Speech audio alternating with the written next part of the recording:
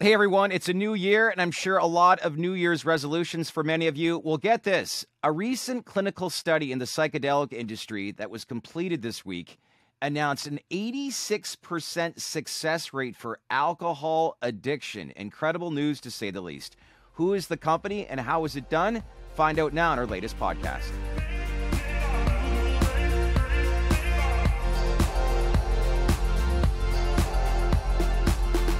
Hey everyone, welcome to the Dales Report and happy to be joined on the podcast here today, the president and CEO of Awakn Life Sciences, Anthony Tennyson. Anthony, happy new year. How are things? Hey Shadd, uh, yeah, th- things are great. Thank you very much. It's great to speak to you again, and it's wonderful to get the opportunity to speak to your audience again.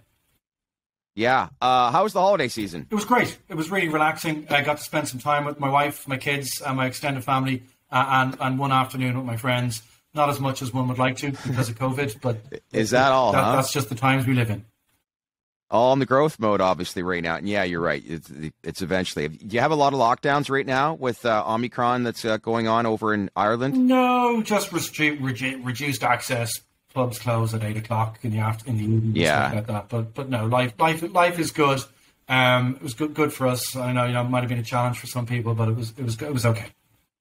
Yeah, well, good to see that you're doing well. Uh, let's get right into it. On obviously wanted to have you on here today. You just announced the results of the ketamine in the reduction of alcohol relapse, otherwise known as your KARE psychotherapy intervention study. Uh, it was the first controlled study in the world to investigate ketamine assisted therapy. The endpoints were superb. 91.66% of the patients studied show a positive response. Big, big news. So remission rates were definitive and only eight of the 96 patients experienced mild adverse reactions. So, walk us through the main takeaways of this study and whether it met or exceeded uh, your expectations. Um, yeah, we're, look, we're, we're absolutely delighted. Uh, the world's first study uh, to investigate ketamine assisted therapy to treat alcohol use disorder. Alcohol use disorder is a chronic disease, Shadd. It affects 5% of the planet, so about 390 million people. Uh, treatment rates are, are low, and the success rate is, of those treatment rates is equally low. So uh, only about 16% of people that have this disease, so 16% of those 390 million people actually seek out treatment. And the reason for that mm-hmm. is there is about a 75% failure rate for all treatments within the first 12 months. Wow. We are delighted with the results of this phase 2 AB combined trial because it met the primary and secondary endpoints for this trial were met and they have exceeded our expectations. The trial set out to assess if ketamine assisted therapy would reduce the probability of relapse um, and as a secondary endpoint, imp- reduction in depression and improvement in liver function and reduce the probability of fatality. All of those primary and secondary endpoints were met. The trial focused on treating people with chronic alcohol use disorder who had a 2% abstinence rate on average before they started the treatment. The people who went through the ketamine assisted psychotherapy arm of the trial, there was an mm-hmm. 86% abstinence rate at six months post treatment. Wow. Going from 2% abstinence to 86% abstinence that is a right. groundbreaking result for the treatment of this chronic, debilitating disease that so negatively affects individuals, families, and communities throughout the world. Right. There was also a statistically significant improvement in liver function, a statistically okay. significant improvement or reduction in depression, a notable um, reduction in something called anhedonia, which is the ability to enjoy life. A high score right. is bad, a low score is good. So those that went through the ketamine assisted therapy arms of the trial had the ability to improve enjoyment of life. And very, very importantly for us, there was a statistically significant reduction in the probability of fatality, most likely as a result of reduced drinking and improved mm-hmm. liver function. Mm-hmm. You would have expected about 12.5% of the people who went through started this trial to have died during the course of treatment if they hadn't right. been treated based upon how much other alcohol consumption. In fact, that reduced down from one in eight to one in eighty. So Not mm-hmm. only are we have the potential to radically improve the treatment of alcohol use disorder, we actually have the ability to save lives here, um, and, and we're you know we're delighted by these results. Well, think about even the amount of suicide that's related to alcohol addiction, and you combine with the amount of substance abuse that has increased since COVID, um, promising results to say the least. So, what you're finding is, you know, once somebody quits the drinking, the number one reasons of relapse, I would assume, would be thoughts like uh, depression, um, anxiety, uh, a lot of that stuff takes uh, place within the first three to six months, correct? So you're finding not only is the obsession obviously to drink alcohol leaving based on the trial, but the overall quality of life is obviously improving as well. Correct. It's it's the combination of ketamine and therapy together that has been proven yeah. in this clinical trial to be a very very effective treatment, significantly more effective than anything that's currently available in industry. Yeah. Where you'd see typically a 75% failure rate. Significantly better than anything ever observed in any other trial. The baseline that we look at is a US trial for treatment as usual that had a 38% abstinence rate. And we all know there's a strong placebo effect in all psychedelic studies. So the placebo arm had a 70% um, abstinence rate. So we went all the way up to an 86.4% abstinence rate with the proprietary ketamine assisted therapy arm. Groundbreaking results. And what it is, it's the combination of using the the the ketamine assisted the ketamine to disrupt the connections between the lower and mid level functions of the brain that really house memory, driver, and salience attribution. And it's that that you know, it's the connection. What happens in a person who's addicted to, to alcohol or addicted to anything really is the lower and mid level functions of the brain, they sort of take control. And the cognitive part mm-hmm. of the brain mm-hmm. or the upper level function loses control of the overall system. And it's why people continually go back to drinking. And they sometimes say, right. I didn't realize why, I don't know why I ended up back in the pub. Yeah. I just did. So we use ketamine to disrupt the connections between those brain circuits. And during the space that that disruption provides. It's the proprietary psychotherapy comes in delivered by qualified psychotherapist or therapists that enables people to gain a new understanding and develop resilience going on a go forward basis and increase increase the probability of uh, avoiding relapse, increase the probability of abstinence over an extended period of time that is significantly greater and significantly more effective than anything that is currently available in industry. It's incredible, isn't it?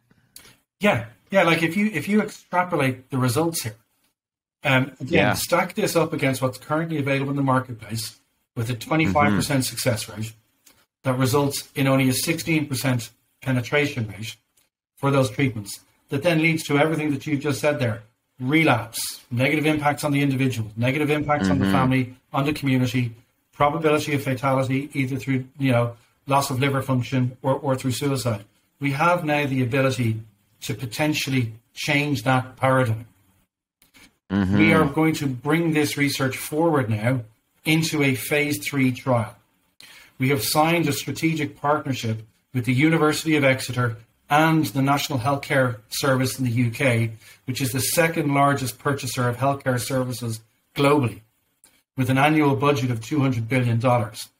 We announced a strategic partnership with them back in Q4 last year. And the sole purpose of that partnership, or one of the sole purposes of that partnership, was depending upon the results of this phase 2b trial, was to work together to bring that forward into a phase 3 trial as mm-hmm. part of a strategy to secure what we call marketing authorization, or in the US and Canada, you call regulatory approval for ketamine assisted therapy to treat alcohol use disorder in the UK. And we'll start in the UK. And if we're successful with that strategy in the UK, we look into other territories. But this is really, really exciting. We yeah. are close to moving from a phase 2B into a phase 3 trial with right. a method of use for ketamine that has been proven and now published in a high impact journal to be significantly more effective than anything that's currently available for the treatment of this chronic debilitating disease. We've published it, and we're now in the process of bringing it forward into phase three as part of our strategy to democratize psychedelics And democratization of psychedelics means running clinical trials, securing regulatory approval or marketing authorization so that people can access these services through the public healthcare system in the UK or the EU or through the insurance model in the US.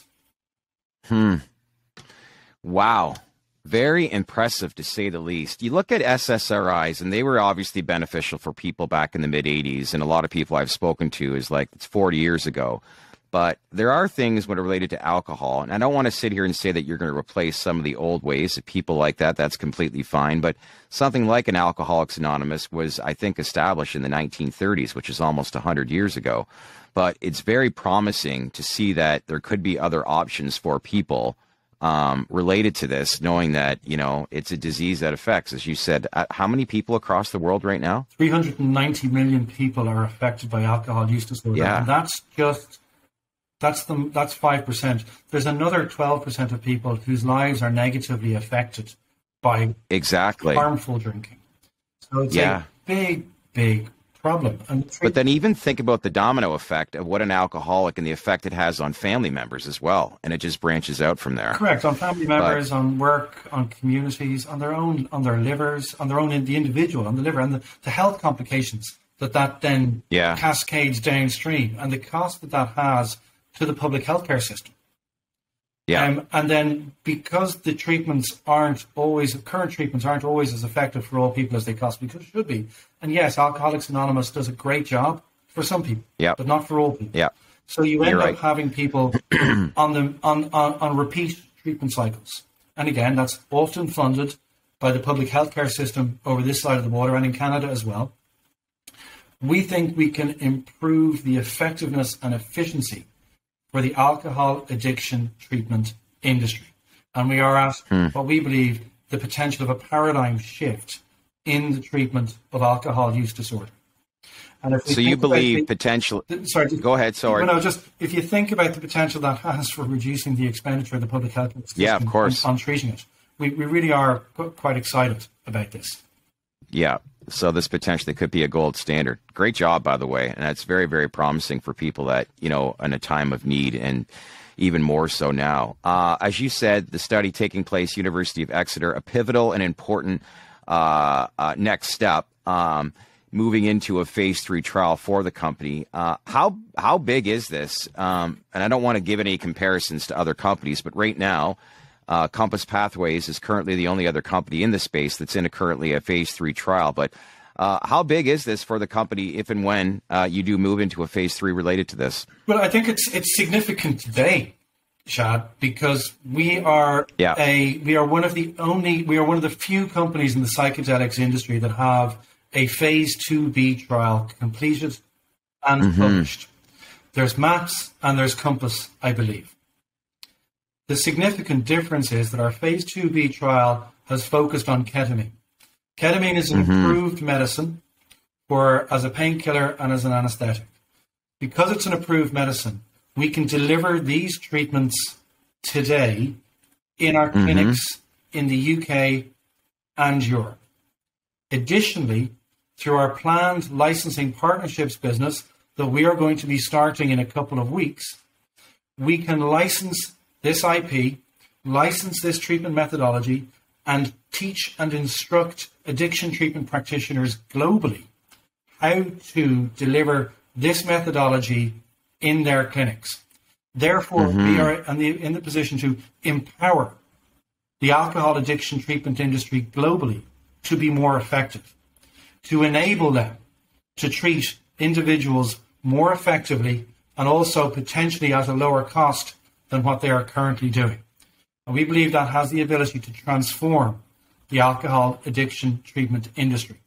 Um, and, and we are really, really looking forward to being able to deliver these services today in our clinics in the coming weeks and months through our licensing partnerships business, starting off with the US and Canada. Um, and then also in parallel to that, running this through a phase three trial in the UK so we can secure marketing authorization or regulatory approval in the UK and enabling us again to help as many people as possible as quickly as possible um, particularly for those providing hope for those people for whom the current treatment methodologies just just don't work. I have to ask. You know, you have people like Dr. Uh, Professor uh, David Nutt, obviously uh, associated with the company. Uh, what's the, been the feedback based on the results that uh, were proven with this trial? And um, uh, who have you spoken to? And again, like if I'm uh, you know potentially looking at whether I'm affected by alcohol use disorder or at the same time if I'm an investor in this company, uh, what's the big takeaway and the promising outlook uh, based on some of the conversations that you've had uh, on these trials? Well, so so if we break this down into the different stakeholder groups, let's start with the patients first, clients first, because okay. they're the most important people here. It's the core purpose of, of yep. why we do what we do. Um, I would encourage if anyone in the UK or in Norway, because that's where we have clinics right now, if they have a problem with alcohol use disorder or a family member and they want to learn more, please do get in touch with us um, at awaknlifesciences.com or clinics.awaknlifesciences.com. Um, find any information they, they need there or get in touch direct, directly with any of the team. Um, for practitioners in the US who want to learn how to utilize this methodology in their clinics, again, please get in touch with us directly via, via our website. Um, and then for for the you know for the public healthcare systems, um, we're we're in early stage discussions with with the public healthcare system in the UK to work out how that we can scale this solution or scale this treatment within within their infrastructure. And then lastly, for investors, what what does this mean for investors? Well, mm-hmm. like I said, we're one of only the few, few, companies in this industry that have published mm-hmm. the results of a phase 2b trial. We are unique because the results of that phase 2b trial can be commercialized today in our clinics and in the coming weeks through our licensing partnerships business. So I'd suggest any current shareholders or any prospectively invest interested investors get on our website, have a look at our investor relations site, get in touch with me if you want to learn more. Um, okay. But you know, just do your own research. Compare our market capitalization to the capitalization of the other companies mm-hmm. in the mm-hmm. sector that are, are at this level of advanced research, and you'll notice the difference, and you can potentially see there's there's there's a there's a, a value creation opportunity for investors in Awakn Life Sciences.